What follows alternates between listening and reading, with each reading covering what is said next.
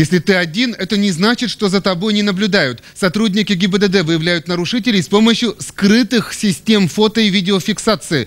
Стражи порядка наблюдают, к примеру, за водителями автобусов на протяжении всего маршрута, а уже на конечной остановке предъявляют шоферам, что они нарушили и составляют административные протоколы. Че? Не на остановке высадил. Только за последнюю неделю при осуществлении скрытого контроля за работой водителями автобусов более 20 водителей привлечено к административной ответственности за нарушение правил дорожного движения. Кстати, к такой фиксации сотрудники ГИБДД прибегают наряду с обычными методами контроля.